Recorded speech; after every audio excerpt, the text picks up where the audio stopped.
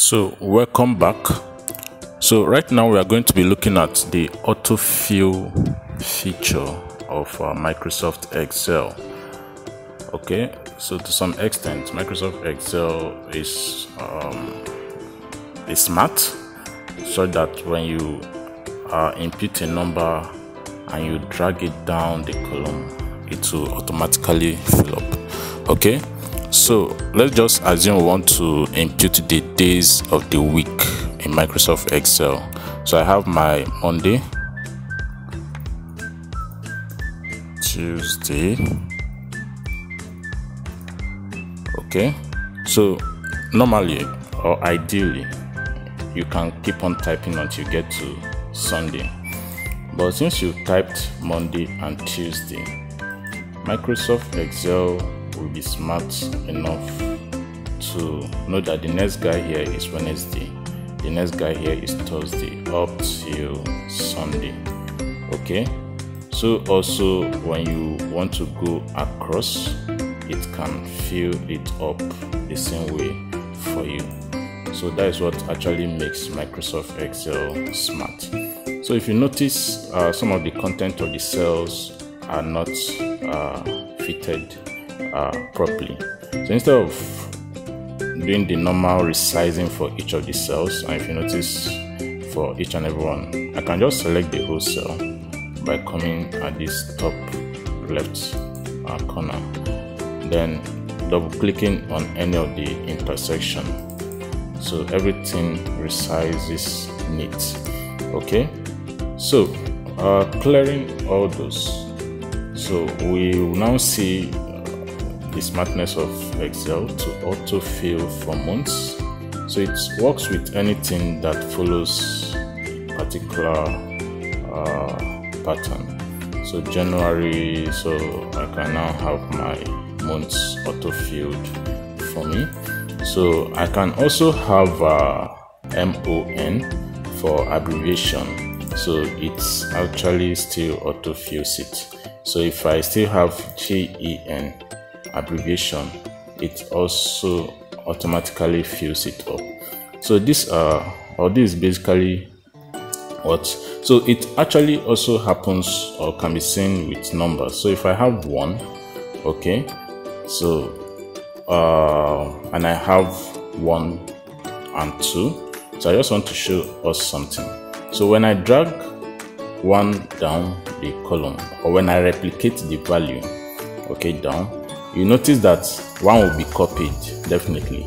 But when i hit this option by the corner i'll see fill series.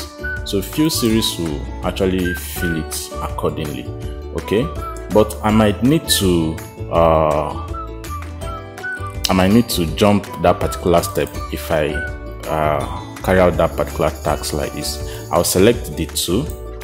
Is all right the two values and drag down. It does the filling uh, for me automatically.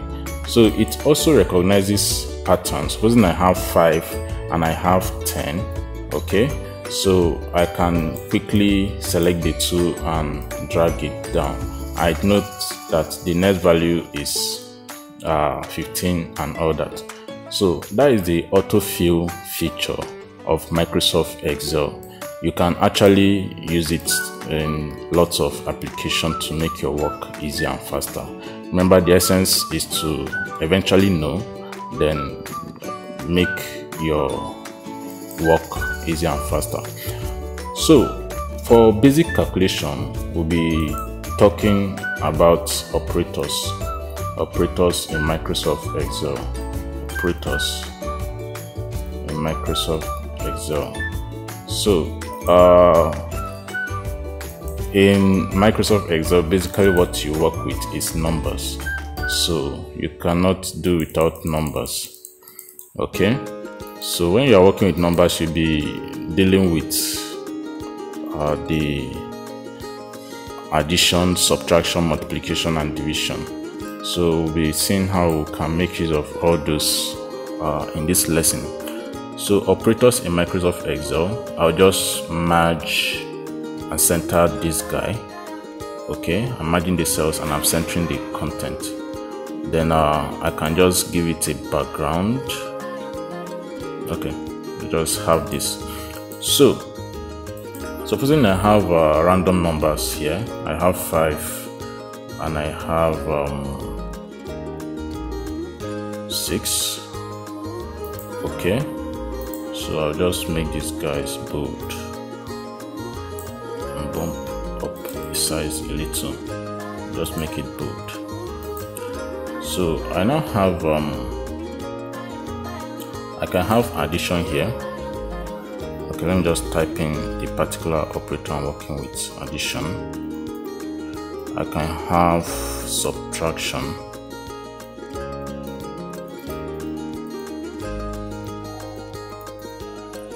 okay I can have uh, division.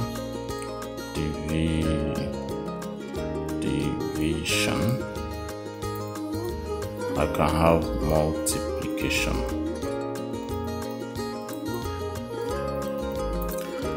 All right so I have all this. Okay so I'll have to resize each one after the other. So now when you want to work with operators, you are invariably imputing a formula, and there's no how you can start imputing a formula in Microsoft Excel without uh, starting off with the equal sign. So, for every formula you want to impute in Microsoft Excel, no matter how simple, it must be preceded with an equal sign. So, I have equal, okay. So, I now have select the cell you want to work with, okay, plus the next cell. So supposing I want to add up a whole a whole bunch of uh, values, I'll just select each one with the plus sign within. So when I hit enter, it adds it up for me. So I can now go ahead to do the same. So equal to uh, cell C5 minus cell uh, C7 equal to minus 1 so I'll just um, format this whole guys and then go up okay. So I still have to resize.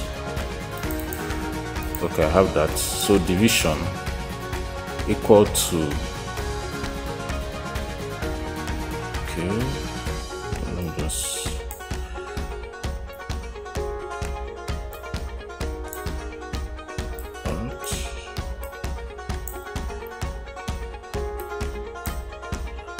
okay. So for division I'll have equal to this divided by this equal to that. So for multiplication I have equal to this uh, asterisk. So you just look for asterisk on your computer or on your phone. And you have this. I'm actually going to give us a tutorial of how we can actually do some of this with our mobile phone. It's just that some of the uh, features of the mobile phone is very very limited okay? Unlike that or unlike what you have for the system. So you have this for the basic operation. Is all right? So remember you don't uh, start imputing a formula until you have your equal sign on ground. So this that's about operators in Microsoft Excel. Excel as a spreadsheet software can actually be used for uh, data modeling. By data modeling, we mean a what if scenario. So, a what if scenario is just a simple concept that explains what happens to the outcome when the result changes. I mean, when the value changes. Now, if you notice, uh, uh, if I change the value of 6 in the data given to 10, just take note of what happens to our different outcomes of addition up to multiplication. It changes. So you can actually use Excel to uh, model your data. This can actually be used to predict future trends either profit or loss either uh, the trends in rainfall either trends in general data. So as you go further you appreciate this uh, single feature of excel.